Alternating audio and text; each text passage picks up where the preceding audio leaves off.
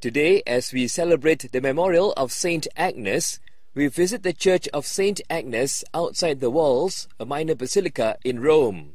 The church is built over the catacombs of Saint Agnes, where the saint was originally buried. A very large basilica was built some meters from the present church in the 4th century, to which was attached the large private mausoleum for Constantina, the daughter of Emperor Constantine. The large basilica decayed during the decline of Rome and was replaced in the 7th century by the present much smaller church commissioned by Pope Honorius I. The new church was over what was believed to be Agnes's grave. The catacombs are on three levels, dating from the 2nd to the 5th centuries. Part of the highest level, dating to the 2nd century, can be visited by a guided tour.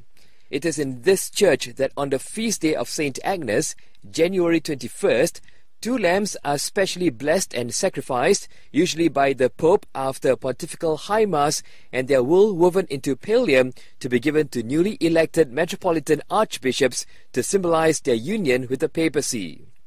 The 17th century Baroque church in Rome, which faces onto the Piazza Navona, is the site where the early Christian Saint Agnes was martyred. Construction began in 1652 under the architects Girolamo Rainaldi and his son Carlo Rainaldi. After numerous quarrels, the other main architect involved was Francesco Borromini. The dome is very impressive and decorated by Ciro Ferri with glory of angels. A door to the right of the Saint Sebastian altar is the chapel where you can venerate the head of Saint Agnes. This is one of the must visits when you make a pilgrimage to Italy. If you would like to find out more about Saint Agnes, Watch our Saint of the Week nugget on our YouTube channel. And subscribe to our free daily nuggets at www.redeemedforworship.com. This daily nugget is brought to you by Redeemed for Worship.